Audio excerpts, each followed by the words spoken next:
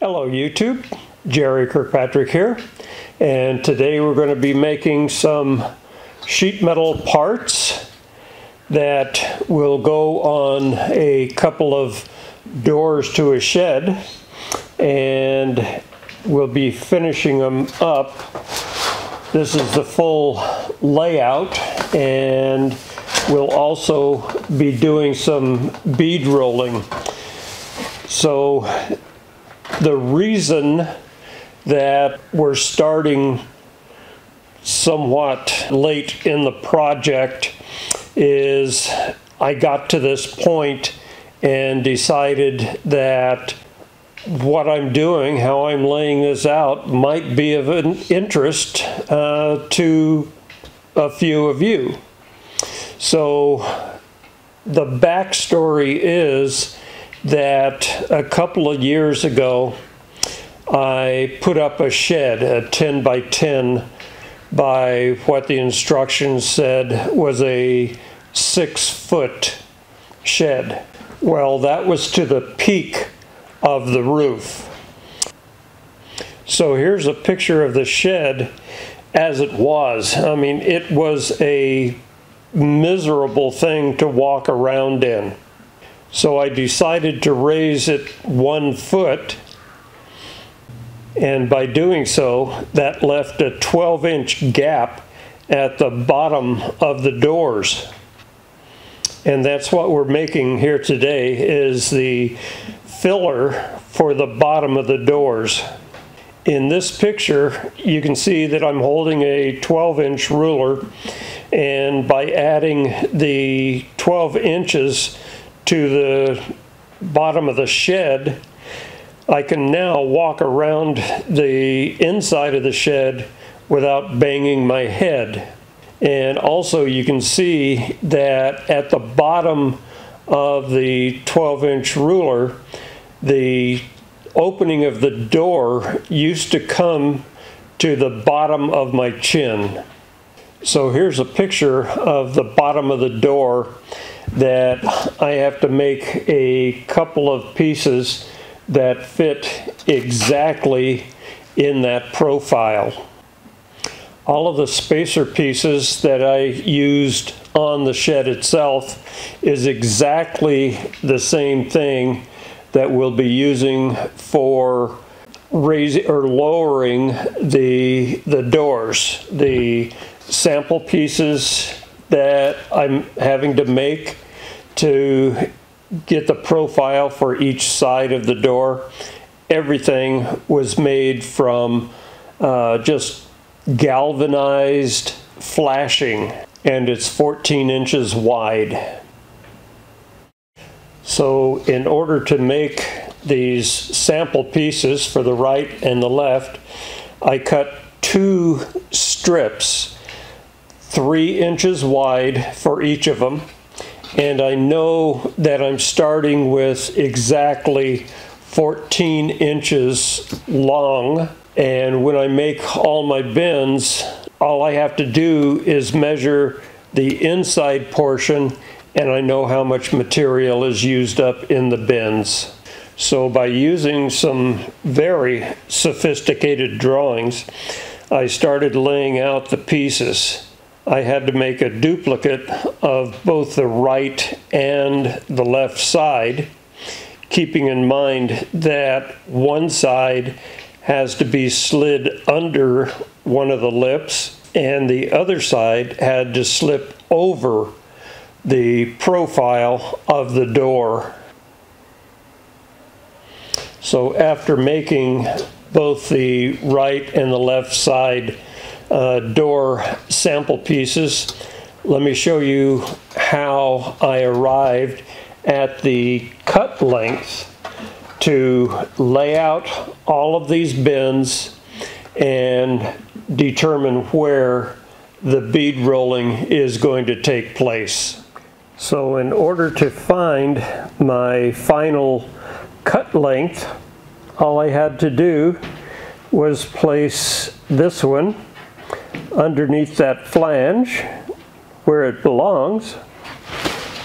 Slide this one on to the other side where it needs to go. And all I had to do was measure the distance between the two, which comes out to four and three quarter inches. So I know that this piece was 14 inches right from the start and it is exactly where it needs to lie when we're finished. And I know this one is bent exactly to fit this profile and it was 14 inches when I began and I just add the four and three quarter inches that is the gap and that comes out to 32 and three quarter inches so that is the length of each side that I cut before I started laying out my bends.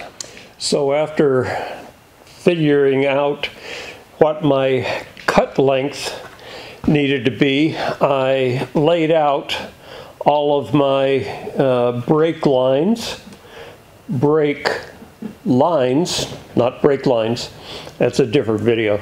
After I got everything laid out, I this side I could bend all the way over here, but this still needs to come up to 90 degrees. And then all of these have to be formed until I come out with a profile like this. And you may be asking why I've only uh, slightly bent uh, each of these. I made a bend line. I created a, a bend line for myself. So when I get to finishing these up, uh, I can I can lay a, a, piece of bar stock or a couple of things I can make on my bender, but the rest of them are going to have to be done by hand because I can't get them under the top leaf of the of the bender.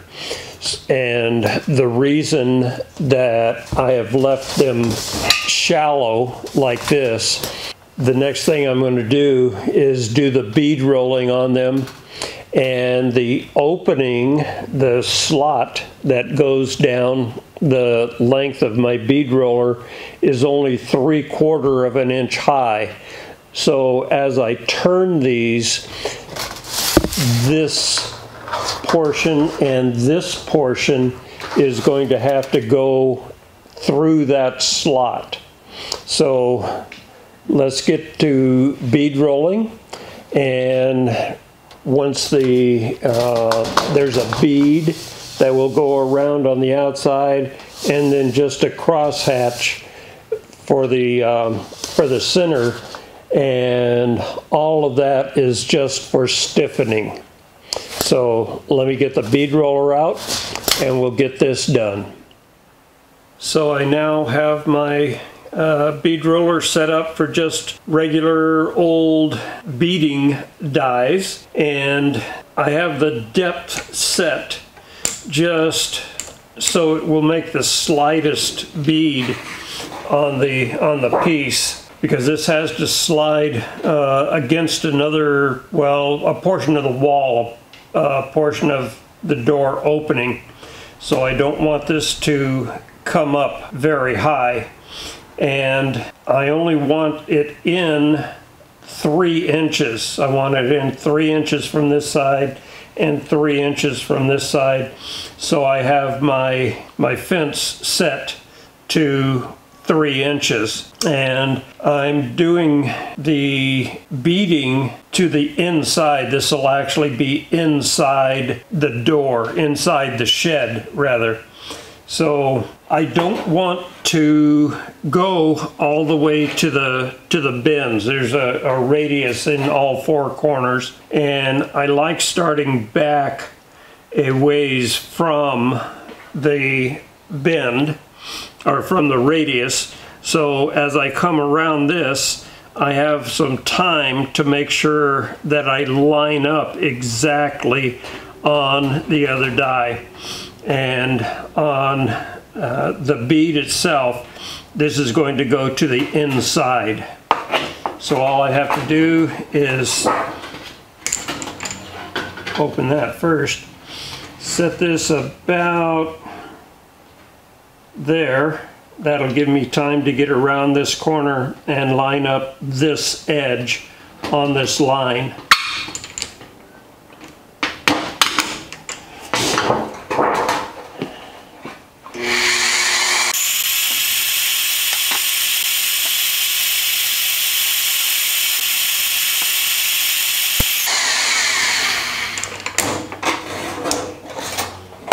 And I'll do this on this other side and the other two. And when I get all of those done, I'll bring you back when I finish these off. Okay, so I've got all four of the beads run, the straight ones, uh, on this panel and the other panel. So now I just have to follow this line around and make sure that I stay on with this edge right on this line so the bead is on the outside.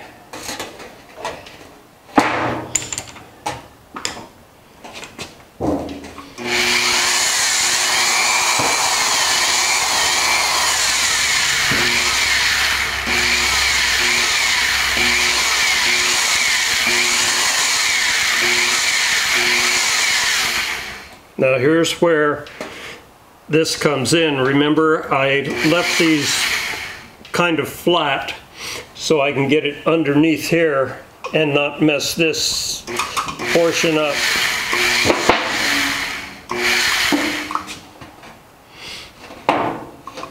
You can see how this is inside this three quarter inch gap now.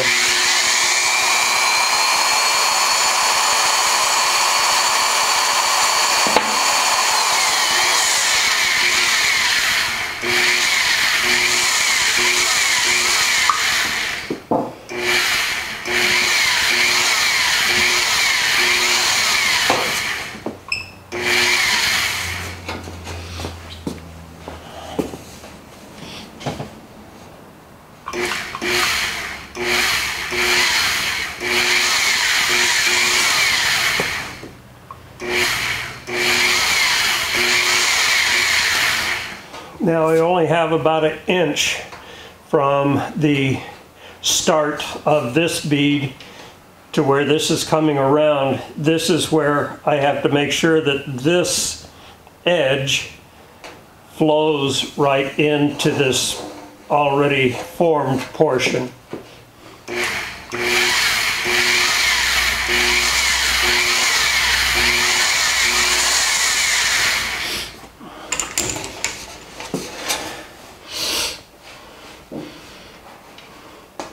Just a little hit with a piece of wood and that this side came in good.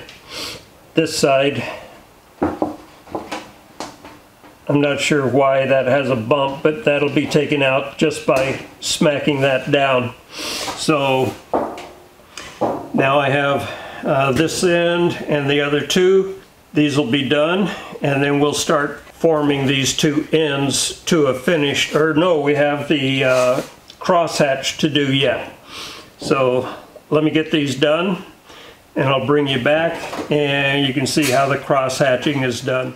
So what I have set up on my bead roller right now is a very soft uh, skateboard wheel and a flat washer that has been brought to somewhat of a point and then polished off. So this is not going to cut. It's going to leave just a groove uh, in the top surface of this, but it won't cut through. And I have it adjusted so it just barely goes down into the into the wheel, maybe uh, an eighth of an inch, maybe three sixteenths, not very much.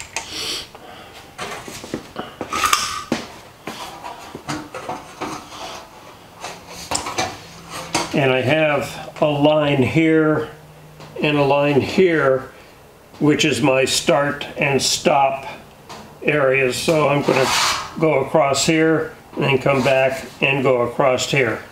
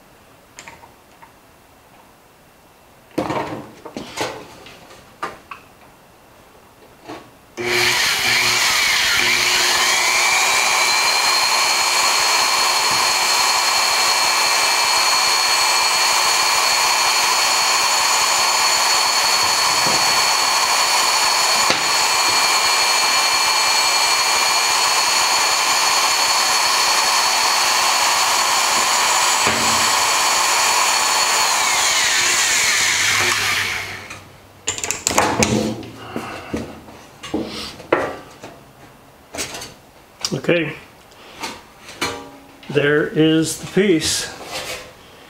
Now I'll do the other one and we'll get the bending done up in this area and this here that just needs to come over 90 degrees. So here's the piece with the bead and the cross hatching in it. The first thing I'm going to do is bend this piece up to 90 degrees. And luckily, I can get this in my bender.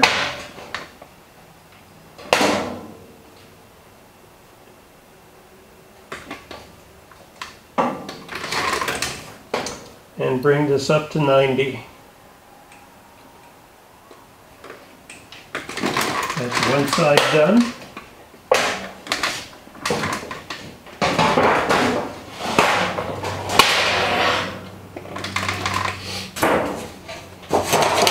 And the next one I can do is this one here that needs to come up to 90 degrees. Then this one gets bent uh, 180 down and this one will come up like at a 45 degrees because this side here has to be able to slide onto the uh, the door itself.